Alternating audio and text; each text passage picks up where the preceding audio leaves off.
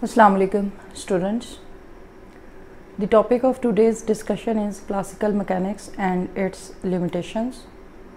So what is mechanics? Mechanics क्या है Mechanics is the science of motion of bodies. Mechanics जो है वो motion of bodies को deal करती है and it deals with the study of motion of bodies under the impact of different forces. So when different forces will be applied on a body तो bodies जो हैं, ज़ाहिर है वो move करेंगी। तो उसके साथ जो भी रिलेटेड फिनोमेना है बॉडीज़ की मूवमेंट के साथ under the impact of different forces इसको मैकेनिक्स जो है वो डील करेगी। अच्छा अब ये जो मैकेनिक्स है, इसको डिवाइड किया गया है दो ब्रांचेस में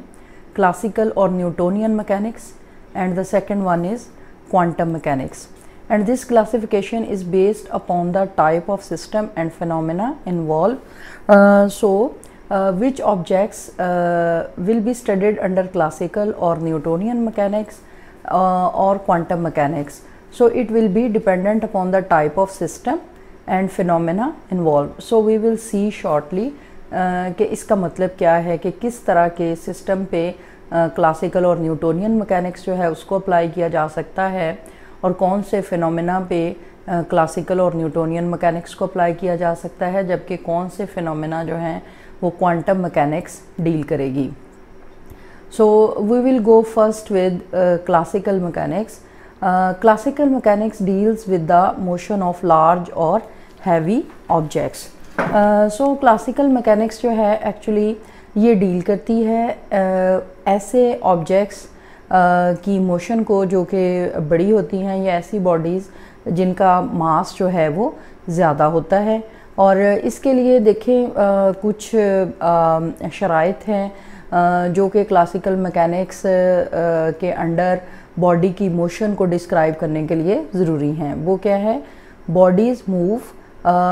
much below than speed of light यानी क्लासिकल मैकेनिक्स सिर्फ़ उन बॉडीज़ की मोशन को एक्सप्लेन कर सकती है जो कि स्पीड ऑफ़ लाइट से आ, बहुत कम स्पीड से सफ़र कर रही हों। जो स्पीड ऑफ़ जिनकी स्पीड लाइट की स्पीड से बहुत कम हो। इसके अलावा क्या है कि इसमें क्लासिकल मैकेनिक्स जो है मेट उन बॉडीज़ की मोशन को डील करती है जिस जो कि made up of particles possessing certain mass जिनका कुछ ना कुछ अप्रिशिएबल मास हो जिसको हम इजीली मैयर कर सकें। तो क्लासिकल मैकेनिक्स के लिए ये दो शराइ का होना ज़रूरी है। और ये चूँकि क्लासिकल मैकेनिक्स है इनिशियली इसको प्रपोज़ किया गया था और इसको न्यूटन ने प्रपोज़ किया था and it is based actually on Newton's laws of motion और हमें अपने प्रीवियस नॉलेज के साथ ये पता है कि जो न्यूटन्स लॉ ऑफ़ मोशन हैं ये एक्सप्लेन करते हैं मच बिगर बॉडीज़ की मोशन को और उनसे रिलेटेड फिनोमेना को। तो क्लासिकल मैकेनिक्स बेसिकली ये डील ही ऐसी बॉडीज़ को करती है जो कि बड़े साइज़ की होती हैं और उनका अप्रिशिएबल मास होता है और वो जिस वेलोसिटी से जिस स्पीड से वो सफ़र कर सकती हैं वो bodies this speed actually this is much below than the velocity of light तो इसलिए ये जो क्लासिकल मैकेनिक्स है इसको हम न्यूटोनियन मैकेनिक्स भी कह सकते हैं and it is based upon the Newton's laws of motion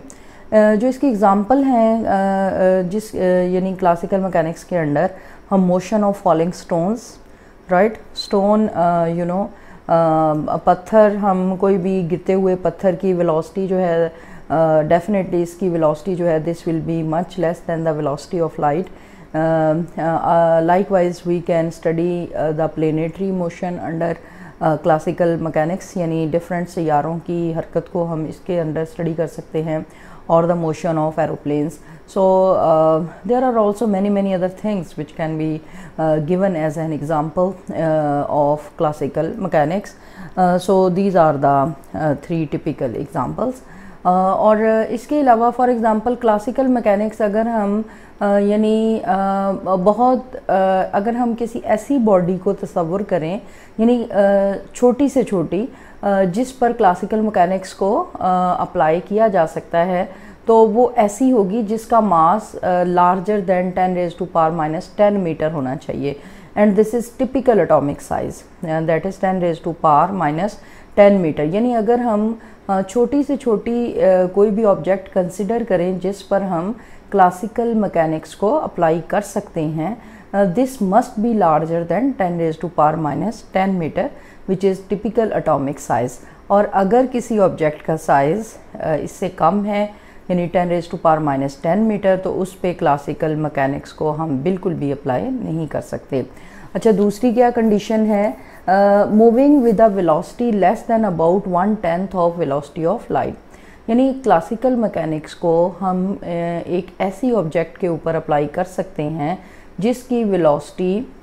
light uh, की वेलोसिटी से 10 गुना कम हो। तो ऐसी ऑब्जेक्ट्स uh, जिनकी वेलोसिटी लाइट की वेलोसिटी से ज़्यादा है उस पर तो हम बिल्कुल भी अप्लाई नहीं कर सकते। और जो मिनिमम क्राइटेरिया है जिसके ऊपर हम क्लासिकल मैकेनिक्स को अप्लाई कर सकते हैं वो एक ऐसी ऑब्जेक्ट हो सकती है जो कि ऐसी वेलोसिटी के साथ मूव करे, जो कि वेलोसिटी ऑफ़ लाइट से 10 गुना कम हो। So these are the two conditions you may say that the object size should not be larger than 10 raise to power minus ten metre which is typical atomic size and the second condition जो है वो ये कि classical mechanics सिर्फ़ उन्हीं bodies की motion को explain कर सकती है जिनकी स्पीड वेलोसिटी स्पीड और वेलोसिटी लाइट की वेलोसिटी से 10 गुना कम हो। तो ये these are the limitations of the classical mechanics यानी क्लासिकल मैकेनिक्स जो है, इन दोनों चीज़ों के ऊपर जो है, वो जा ही नहीं सकती। और जबकि केमिस्ट्री के अंदर बहुत सारे फिनोमेना हैं बहुत सारे ऐसे फिनोमेना हैं which are related even to the subatomic particles तो यहाँ पर अब ये देखें कि अगर क्लासिकल मैकेनिक्स एटम के साइज़ के नीचे जो पार्टिकल्स हैं, उनको अगर स्टडी ही नहीं कर सकती तो इसका मतलब ये हुआ कि क्लासिकल मैकेनिक्स बहुत सारे फिनोमेना जो कि इलेक्ट्रॉन प्रोटॉन और न्यूट्रॉन के साथ रिलेटेड है, वो डेफिनेटली वो उनको स्टडी करने this will be unable to study that is classical mechanics will be unable to study the phenomena which are associated with subatomic particles that is electron proton and neutron and we will we will say that classical mechanics will also be unable to study the phenomena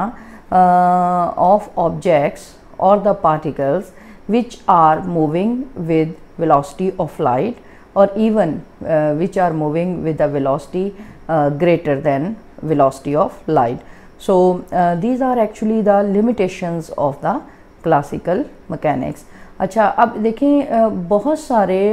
हमारे पास information atomic structure से related या molecular structure से related जो information है, वो हमें उस वक्त मिलती है जब हम रेडिएशंस का इंटरेक्शन करवाते हैं एटम के साथ और एटम के अंदर जो पार्टिकल्स हैं इलेक्ट्रॉन प्रोटॉन और न्यूट्रॉन उसके साथ इन्वॉल्व होते हैं। तो इसलिए अब क्लासिकल मैकेनिक्स जो है, अगर उन ऑब्जेक्ट्स को स्टडी ही नहीं कर सकती जिनका size ten raise to power minus ten metre है तो ऑब्वियसली क्लासिकल मैकेनिक्स हमें इंटरनल स्ट्रक्चर ऑफ़ एटम या मॉलिक्यूल के मतलब कोई भी इंफॉर्मेशन देने के काबिल नहीं है। तो दूसरे लफ्ज़ों में हम ये भी कह सकते हैं classical mechanics is the mechanics of everyday bodies यानी क्लासिकल मैकेनिक्स जो है वो everyday objects which can be seen by naked eye जिसको हम नेकेड आई से देख सकते हैं क्लासिकल मैकेनिक्स उन ऑब्जेक्ट्स की मोशन को uh, या उन ऑब्जेक्ट्स की प्रॉपर्टीज़ को एक्सप्लेन कर सकती है। uh, that is this is uh, we may call it as everyday science and this is based upon uh, Newton's uh, law of motion and it is also termed as Newtonian mechanics. So, uh, what are the limitations of uh, classical mechanics? at the end of 90, 19th and beginning of 20th century, some experimental observations were seen that could not be explained by classical mechanics. तो 19वीं सदी के आखिर पर और 20वीं सदी के शुरू में कुछ ऐसे एक्सपेरिमेंट्स को ऑब्ज़र्व किया गया कुछ ऐसे एक्सपेरिमेंट्स परफॉर्म किए गए बाय डिफरेंट साइंटिस्ट और उसमें फिर ये देखा गया कि क्लासिकल मैकेनिक्स जो है वो उसको बिल्कुल भी एक्सप्लेन नहीं कर सकती थी for example the first one it it was not able to explain the motion of bodies travelling with velocity of light यानी ऐसी ऐसे सब atomic particles you can say और अटोमिक पार्टिकल्स और और any body which was travelling with velocity of light जो कि velocity of light से ट्रैवल कर रही थी तो क्लासिकल मैकेनिक्स जो है उस बॉडी की मोशन को एक्सप्लेन करने से कासर रही। uh, इसके बाद it was unable to explain the atomic spectra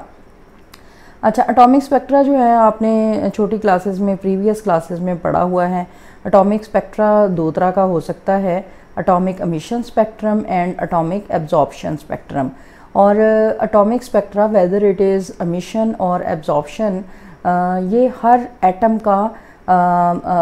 atom का स्पेसिफिक होता है फंडामेंटल मतलब होता है। और इस तरह आप कह सकते हैं कि ये एक एटम को डिस्टिंग्विश करने के लिए, उसको पहचानने के लिए फिंगर प्रिंटिंग का काम करता है, ये अटोमिक स्पेक्ट्रा और होता क्या है कि पीरियोडिक टेबल के अंदर जितने भी एटम्स हैं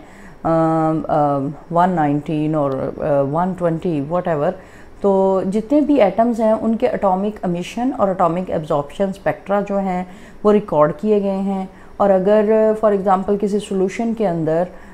या कंपाउंड के अंदर अगर हमने डिफरेंट एटम्स को आइडेंटिफाई करना है तो हम उसका अटोमिक स्पेक्ट्रा रिकॉर्ड करेंगे और फिर उसको लिटरेचर में मौजूद जो एटम्स के अमीशन या एब्जॉर्प्शन स्पेक्ट्रा हैं, उनके साथ हम मैच करेंगे और इस तरह से ये फिंगर प्रिंटिंग के तौर पे काम करता है और उससे हमें पता चल जाता है कि हमारे पास जो सोल्यूशन है, उसके अंदर कौन कौन से एटम्स प्रेजेंट हैं। तो इस तरह से एक्चुअली ये जो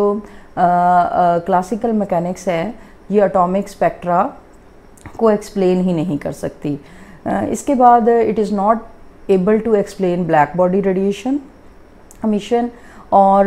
radiations emitted from any hot mass तो ब्लैक बॉडी रेडिएशन जो है क्या होती हैं ये पिछले लेक्चर में हमने बड़े तफसील से पढ़ा था। तो अब ब्लैक बॉडी से जितनी भी रेडिएशंस अमिट होती हैं क्लासिकल मैकेनिक्स उन रेडिएशंस के अमीशन को और जो वो डिफरेंट प्रॉपर्टीज़ जो वो शो करती हैं उसको एक्सप्लेन करने से कासर है। इसके अलावा it is not able to verify Rutherford's prediction अब रदर फोर्ड ने ये प्रिडिक्ट किया कि uh, जो सारे का सारा पॉजिटिव चार्ज है एटम का वो न्यूक्लियस के अंदर कंसनट्रेटेड है न्यूक्लियस के अंदर मुरतकज़ है। और इलेक्ट्रॉन्स जो हैं वो न्यूक्लियस के इर्द गिर्द they are moving they are circling around the nucleus. uh, they are moving around the nucleus. अब एक्चुअली क्लासिकल मैकेनिक्स जो है वो ये कहती है कि अगर घूमता हुआ इलेक्ट्रॉन uh, जो है वो मुसलसल एनर्जी रेडिएट करे खारिज करे तो एक वक्त ऐसा आएगा कि वो न्यूक्लियस के अंदर गिर जाएगा। लेकिन ऐसा नहीं होता, बल्कि एटम जो है अब अगर इलेक्ट्रॉन अपनी मुसलसल एनर्जी खारिज करेगा तो ज़ाहिर है वो हायर ऑर्बिट से लोअर एनर्जी ऑर्बिट्स में आता जाएगा और एक वक्त ऐसा आएगा कि वो न्यूक्लियस के अंदर गिर जाएगा अकॉर्डिंग टू क्लासिकल मैकेनिक्स और अगर वो देखें न्यूक्लियस के साथ टकराएगा तो ज़ाहिर एटम कोलैप्स कर जाएगा। And there will be existence of nothing तो कुछ भी बाकी नहीं बचेगा। लेकिन ऐसा नहीं होता। तो इसलिए क्लासिकल मकैनिक्स जो है this is the failure of classical mechanics that it can not explain the circling motion of electron around the nucleus and this can not verify other force prediction then in my point of view this is this is the major point that classical mechanics is unable to explain the dual properties of light classical mechanics जो है dual properties of light को explain नहीं कर सकती। अब dual properties क्या हैं उसके मतलब भी हमने बड़े तफसील से पहले लेक्चर में पढ़ा था। That is there are some experiments in which light behave in the form of waves like interference interference में लाइट जो है वेव uh, की फॉर्म में एक्ट करती है और वेव नेचर जो है क्लासिकल मैकेनिक्स जो है वो एक्सप्लेन कर सकती है। लेकिन there are some other you know phenomena in which light behave as particle and particle nature light की uh, जो फिनोमेना uh, देखा गया वो कम्पटन इफ़ेक्ट था जिसमें लाइट ने पार्टिकल्स के तौर पे बिहेव किया एंड न्यूटन न्यूटोनियन मैकेनिक्स और classical mechanics it was not able to explain the nature of light uh, like Compton effect. So these are some of the uh, these are the limitations of classical mechanics and uh, under this lecture we have studied in detail that what is mechanics, what is classical mechanics and its limitations. Uh, okay uh, students this this was all about for today's lecture and we will inshallah meet with the next lecture uh, of de Broglie's hypothesis. Till then, Allah Hafiz.